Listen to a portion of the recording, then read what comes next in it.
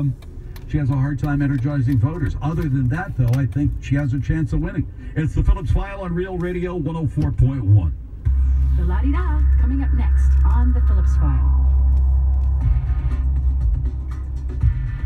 Rain passing through the Orlando area, and that is causing some big delays along I 4. We now have an accident westbound along the interstate at Fairbanks that has two left lanes blocked. You're also very slow in both directions of I 4, in between Osceola Polk Line Road and Sand Lake Road.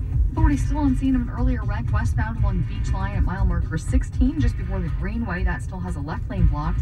And the northbound lanes of Orange Avenue reportedly shut down due to a stopped train on the roadway near Jetport Drive. From the traffic center, I'm Courtney Bright. This report is brought to you by the Foundation for a Better Life.